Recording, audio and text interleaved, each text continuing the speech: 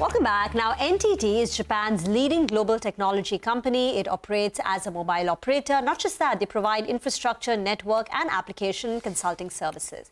That's a big company. Its revenues are in excess of $95 billion. They have more than 330 employees, and their annual R&D investments or spends are $3.6 billion. Now, every year, the company holds an annual R&D forum which showcases its innovation and cutting-edge technology for research and business. Now, this year, I got a chance to participate in their annual forum, and I wanted to highlight the company's differentiated take on generative AI. So here's how it works. Instead of having one large LLM, LLM is large language model, a large monolithic model, which will require immense training costs and power consumption, NTT's generative AI approach is to have several smaller LLMs, making it more sustainable. They call it Tsuzumi. Now the debate is open. Which one is better? Do you want to have one large monolithic model or do you want to have several, you know, several smaller ones? Uh, I caught up with the CEO and president of NTT Research uh, on the pros and cons. Listen in.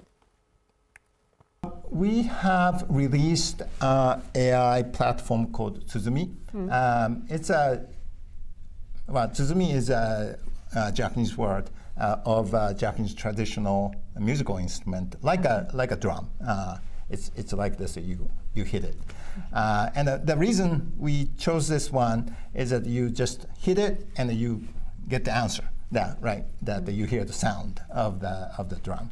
Uh, so it's very instantaneous and so on. But anyway, um, our approach for this Tsuzumi is that uh, uh, rather than making a large lang language model and it requires a lot of hardware. We are, uh, we are, our aim is that uh, relatively smaller uh, language model while uh, we are maintaining that the performance as much as possible. Personally, I, I think the best application can be the uh, enterprise AI. enterprise AI, I think, is already kind of becoming a big, um, big um, trend now. Uh, but uh, enterprise is something like this that uh, you know everybody uses ChatGPT or Google Gemini's and everything, and which is great. But uh, certainly, each enterprise wants to have their own AI mm. to fit into each enterprise's specific process or their business model or whatever, right? So you want to have a sm- uh, AI just a custom to okay. to that to the specific enterprise, right? Mm.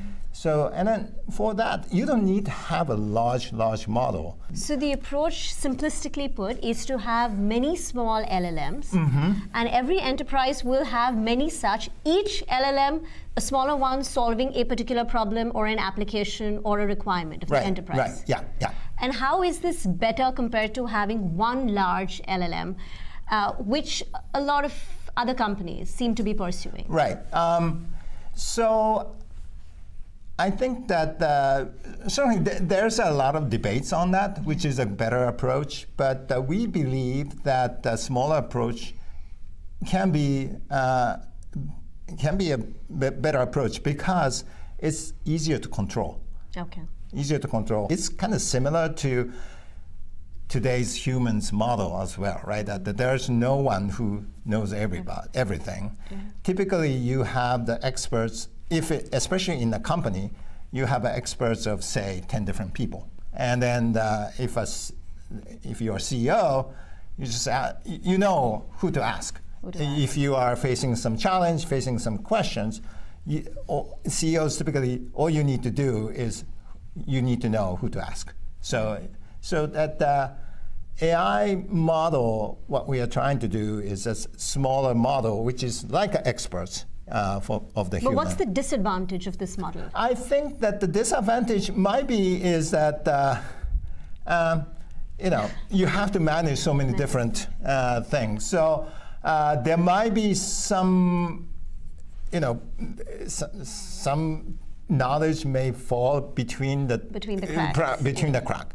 Okay. How do you figure out and that type of thing? So, so yeah, there, there's definitely pros and cons, and then so our approach is that we um, try not to uh, try to avoid the situation as much as possible that something falls okay. uh, fall into somewhere in the in uh, in between. Well, a very interesting conversation there with you, Reema. I'm sure you had a very good uh, conversation there and you got to learn quite a bit from NTT Absolutely. as well. Well, you know, just having a look at the markets,